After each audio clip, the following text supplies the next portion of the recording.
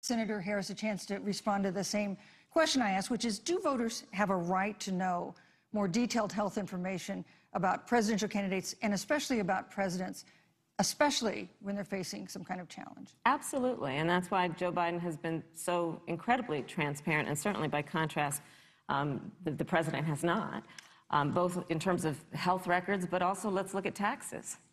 Um, we now know because of great investigative journalism that Donald Trump paid $750 in taxes. When I first heard about it, I, I literally said, You mean $750,000? And it was like, No, $750.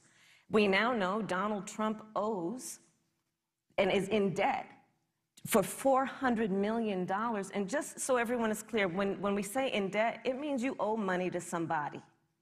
And it'd be really good to know who the President of the United States, the Commander in Chief, owes money to because the American people have a right to know what is influencing the President's decisions. And is he making those decisions on the best interest of the American people, of you, or self interest? So, Susan, I'm glad you asked about transparency because it has to be across the board. Joe has been incredibly transparent over many, many years.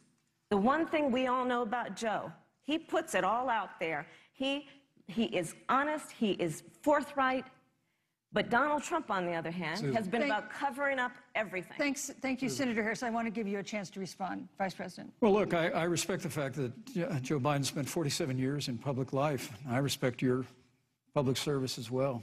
Thank you. But The American people have a president who's a businessman, he's a job creator, who's paid tens of millions of dollars in taxes, payroll taxes, property taxes. He's created tens of thousands of American jobs.